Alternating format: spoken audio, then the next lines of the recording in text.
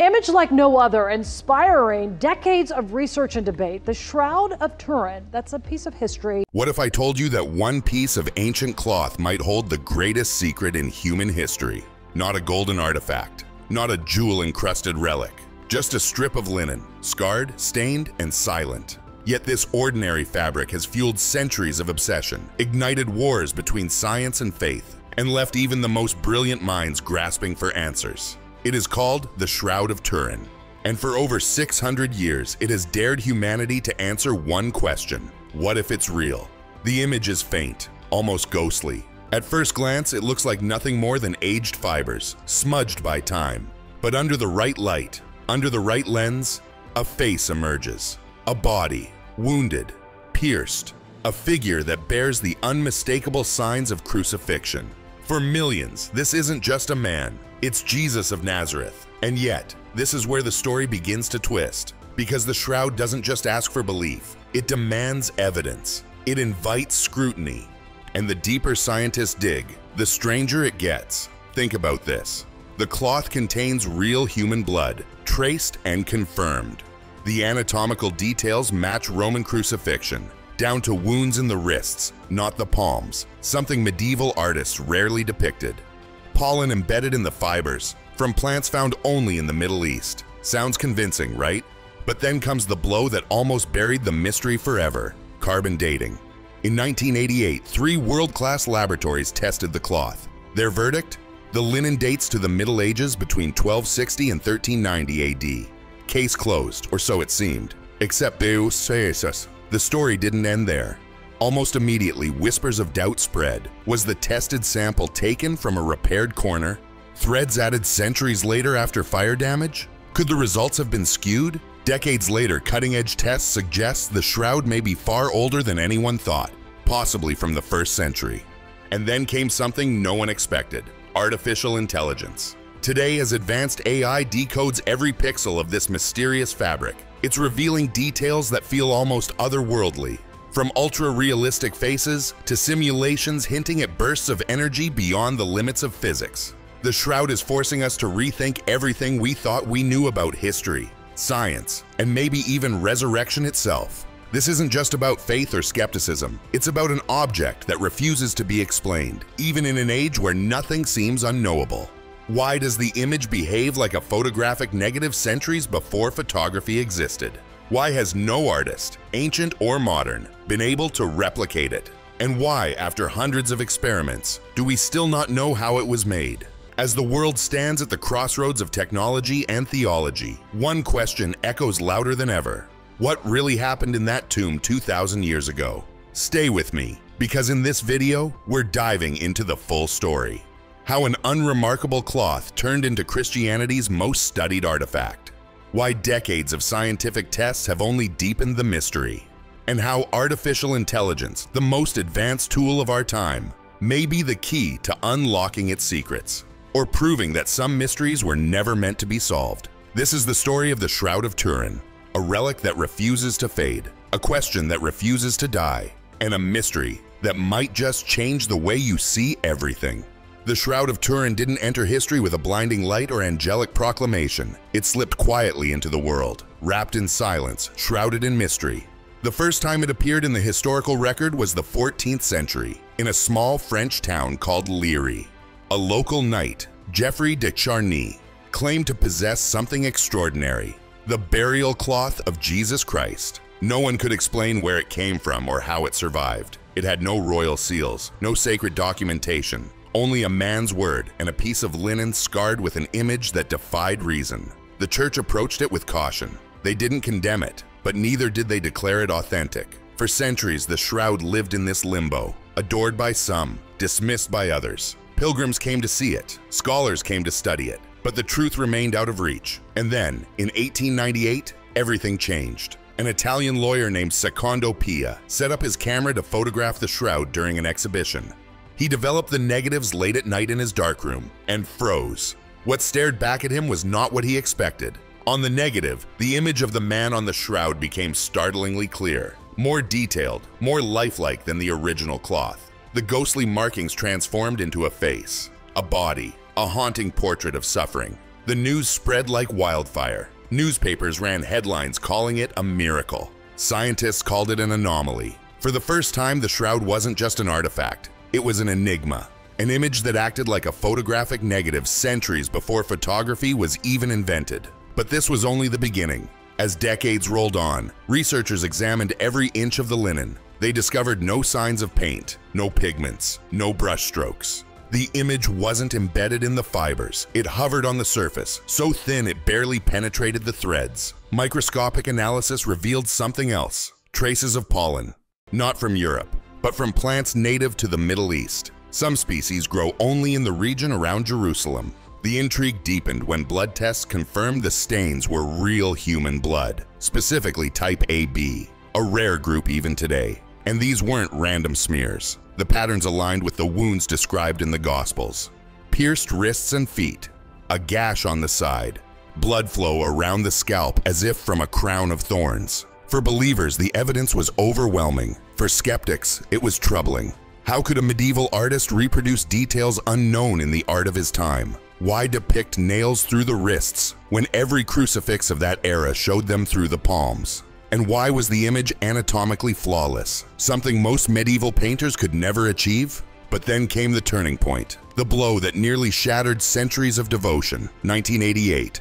Three leading laboratories, Oxford, Zurich, and Arizona, conducted radiocarbon dating on samples from the shroud. The results seemed conclusive. The linen dated between 1260 and 1390 AD. For many, that was the end of the mystery. The shroud wasn't ancient. It was medieval, a brilliant forgery. Headlines screamed, Shroud exposed as fake. Museums and academics declared the case closed. Skeptics celebrated. Believers mourned. But the shroud wasn't finished. Almost immediately, challenges arose. Textile experts noticed something strange. The section tested for carbon dating wasn't representative of the whole cloth. It appeared to contain cotton fibers, possibly added during medieval repairs after fire damage in 1532. If true, the sample could have skewed the entire result. From that moment, the debate roared back to life. New studies suggested the original linen could indeed be much older. And as the 21st century dawned, technology offered tools beyond the wildest dreams of 14th century artisans. Scanning electron microscopes, spectral imaging, chemical analysis, each probe raised new questions instead of answers. And so, the shroud endured, surviving fires, wars, skepticism, and science. Still intact, still staring back at us with that silent, haunting face. But here's the truth. The real storm was yet to come, because the next chapter in this saga would take us far beyond the realms of history or theology. It would pull the shroud into a world no one imagined, a world of algorithms, neural networks, and artificial intelligence. And what AI would reveal would shock everyone. For centuries, the Shroud of Turin defied explanation, surviving every assault from both skeptics and scientists. But no one expected the next chapter in this ancient saga to be written not by archaeologists, theologians, or even historians, but by machines, artificial intelligence. A tool built for the digital age, now staring straight into the face of one of history's greatest enigmas. It started quietly, just a simple experiment.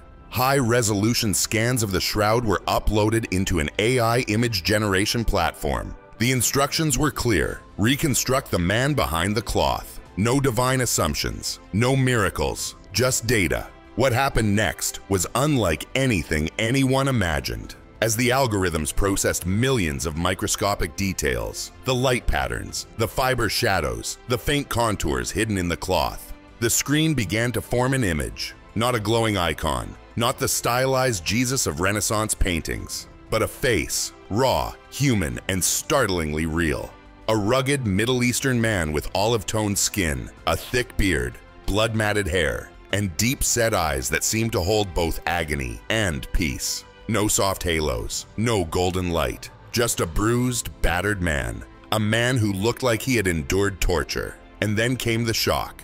Anthropologists compared the AI-generated image with forensic reconstructions of first-century Jewish males. The resemblance was uncanny. The proportions matched. The bone structure fit. Even the injuries aligned perfectly with Roman crucifixion practices.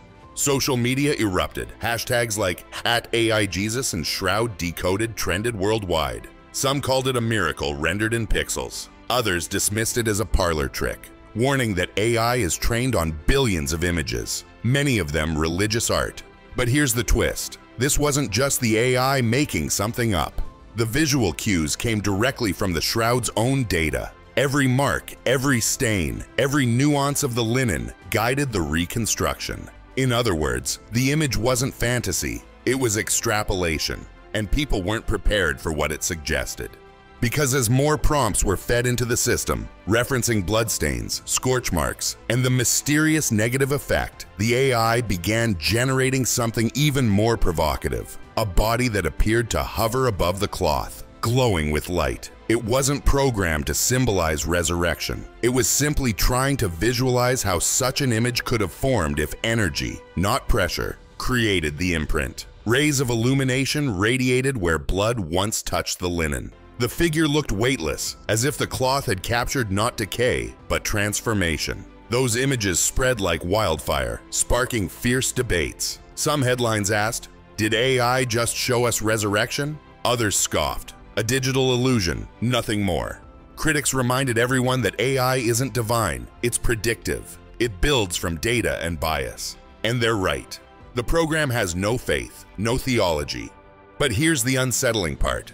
If bias shaped the output, why didn't the face look like the European Jesus we see in stained glass and Renaissance art? Why did it look historically accurate? Why did it resemble the forensic models of men from first century Judea? Coincidence? Maybe. Or maybe the shroud contains more encoded truth than anyone ever imagined. For believers, the AI experiment felt like a modern echo of faith, a silent witness from antiquity speaking through the most advanced technology of our time. For skeptics, it was a reminder that questions remain, questions too stubborn for easy answers. And so the mystery deepens. Because if AI, armed with the world's most powerful algorithms, can't debunk the shroud, but only magnify its enigma?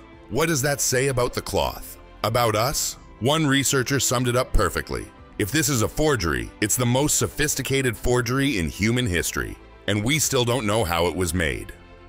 After billions of computations, thousands of simulations, and a wave of viral images, the shroud remains what it has always been, a paradox. A relic that refuses to settle the debate, but refuses to be ignored. And yet, behind all the controversy, one haunting question lingers. What if this really is the face of the man who changed history?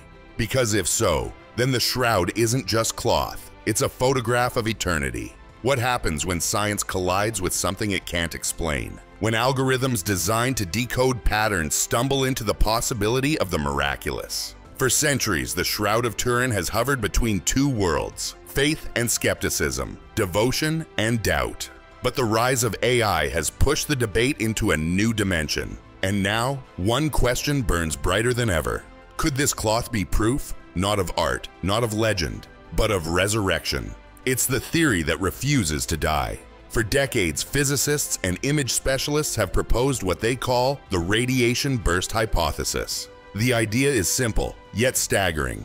The image on the shroud was not painted, not burned, but imprinted by an intense flash of energy. Something so powerful it encoded three-dimensional information without scorching the fibers.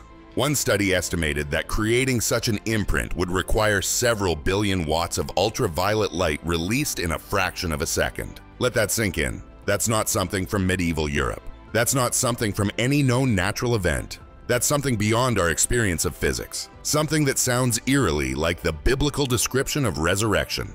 An instant, transformative burst of glory.